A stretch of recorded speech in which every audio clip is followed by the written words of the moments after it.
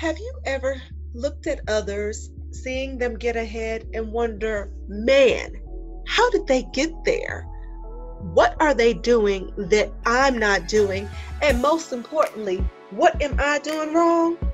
Well, if thoughts like this are filling your head, first of all, take heart, okay? You're not alone. And I've been there many times before, and there is always hope. There's always a way that you can change your financial situation, and that's exactly what this series is about.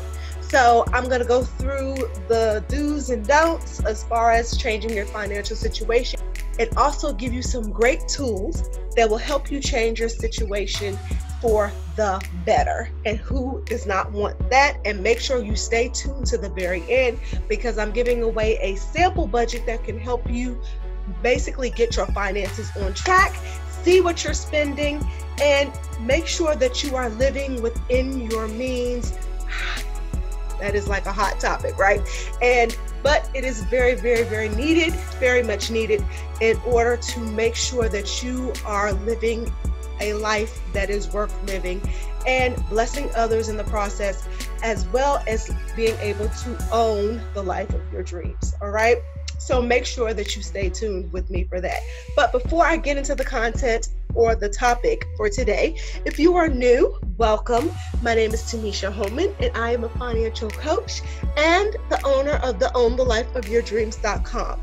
It is my personal goal to help you break free from the financial chains that have you bound. So, if that's something that you are interested in, make sure you hit that subscribe button and join me on this journey. So, how can I change my financial situation? And let me be frank with you. This video is going to be one on the spanking side. You know, you know, sometimes you need something that'll help wake you up and you know something that's truth that will get you in line to help you do better. And if somebody doesn't tell you the truth, you continue to be on this weird cycle where you're just always broke and you're wondering why.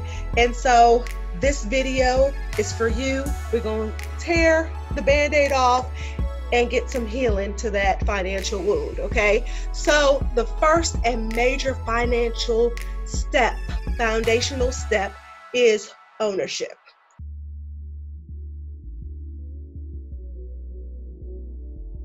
The thing is, you have to own up to your part in the collapse of your finances. If your finances are not where they want to be, then honey, you did something. Okay? It may not be totally your fault, but there is something that you did to help contribute to this. And of course, that's not in every case, but those cases are rare.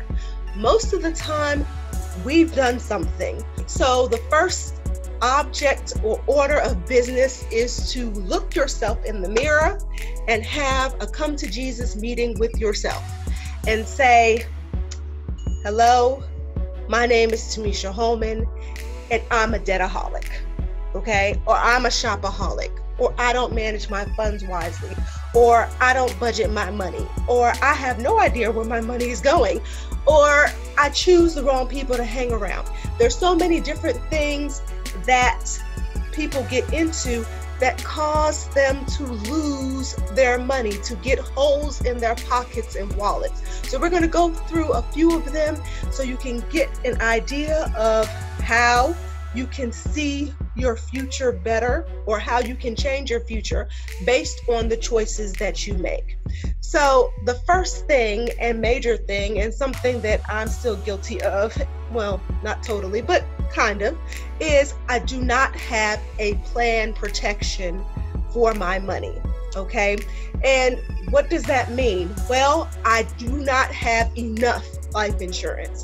So the school gives me life insurance because if I die on the job or whatever, they'll give my my husband thirty thousand dollars, which is not nearly enough to pay off all of my debts. So if I want my family to be protected in the future, then I need to increase my life insurance because everybody's gonna die, right? And that is something that you definitely need to think about and plan for. Getting your life insurance policies in order to making sure that your family does not have to borrow money or do chicken dinners or, you know, cry and weep and sell themselves on the street to get you buried. That's not right. That's not fair. So, thinking long term, thinking ahead, thinking like somebody who has generational wealth, getting that type of protection in your pocket, in your hands to help protect your family in the future is always a wise investment. Also, do you have health insurance?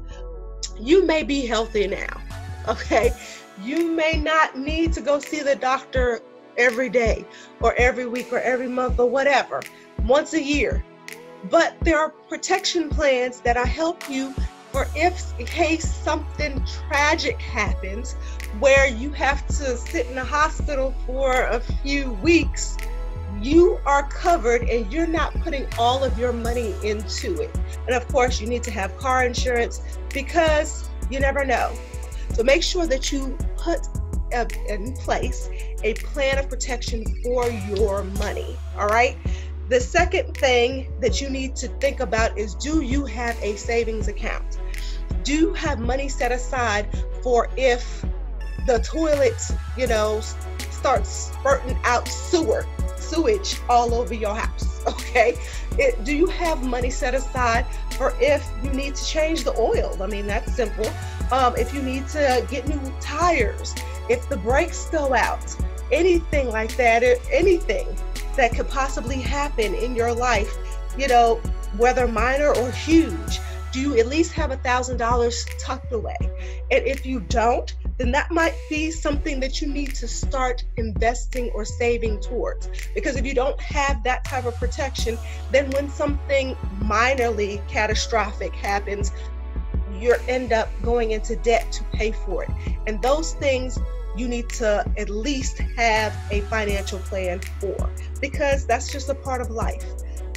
So, the whole premise of this is if you fail to plan, you plan to fail. All right. So, if you do not put this plan into place, whether your protection or your savings, then you're setting your financial future up for failure because things always happen, good and bad, and you want to be prepared for both scenarios. All right. Number three, are you making good decisions? And you know, you don't have to just be talking about finances, right? But there are some financial things that you might want to stay away from. Like if you have to go into debt to pay for a wig, you may want to leave that wig alone. Okay? If you have to decide whether you want to buy some new J's or pay your light bill, you might need to rethink that whole situation you should be able to live comfortably live in maybe not exactly what you want right now but if you're saving and taking care of your financial situations eventually you'll get to the point where you can do that. But right now if you're you know just now starting out working it might not be the best way to use your money. Matter of fact it's not the best way to use your money. But another decision that people don't think about is they decide who they hang around and who they marry. And those are major financial uh, situations that can cost you a bundle. Who you hang around and the mentality that they have can cost you your financial future. It is a fact that the average income of a person is related to the top five people that they hang around okay? It's the average of the top five people you hang around. So if you're hanging around people who don't have jobs, who are trying to skim and um, shake down the welfare system and trying to, you know, get over, other than you know trying to get a job and get off and get on their feet, then you're going to fall into that same trap. Okay, believe me, I have been there, but I am not there anymore. Praise the good Lord. All right. But if you are on, you know, if you're around, hanging around people who are winning, who are striving for more, who have, you know, at least $500,000 a year coming in or even a hundred thousand dollars a year but they know how to plan and invest and save and are building generational wealth for themselves and their family and their children's children to come then your mindset is going to be the same. And you're going to start to fall into those habits and learn from them and start to do what they do. And then your financial situation will grow just like their financial situation will grow. And you know i it kind of goes without saying the person that you marry is definitely going to affect your financial situation um, whether you stay married to them and y'all don't see eye to eye on things and then you got to hide your money which you know happens a lot more than that should.